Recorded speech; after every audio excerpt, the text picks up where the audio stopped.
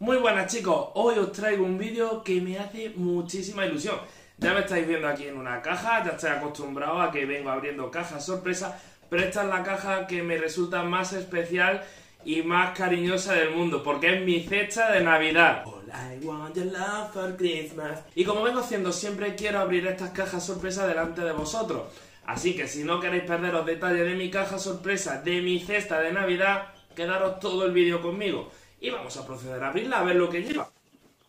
¡Uy, qué nervio! Me encantan los regalitos. Bueno, bueno, bueno, empezamos con Osanto, denominación de origen. Tiene pinta de ser vino tinto, no sé. Vino, me encanta. Aquí tenemos una botella de Brut, de cava, ¿vale? Tenemos otra botella diferente de Brut, de cava. Aquí me aparece mazapanes, bombones de chocolate, sobrasada vegetal. No sé a qué puede saber una sobrasada vegetal, pero me pica la curiosidad. Eh, galletas de chocolate con perlitas de chocolate.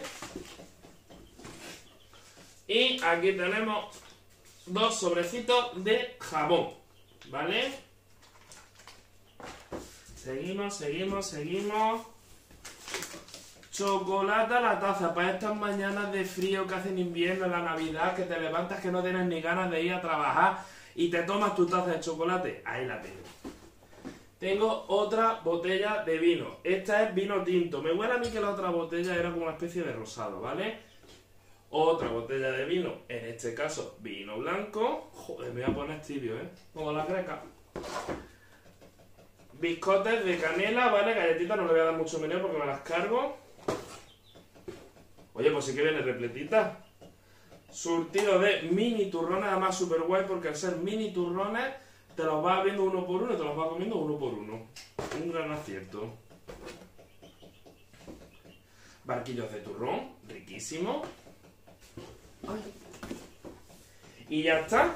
Esta es mi cesta. Pues bueno chicos, esta es mi cesta de Navidad. ¿Qué os ha parecido? A mí me encanta. A mí mientras que tenga vino para pasar la noche buena, la noche vieja, en la gloria.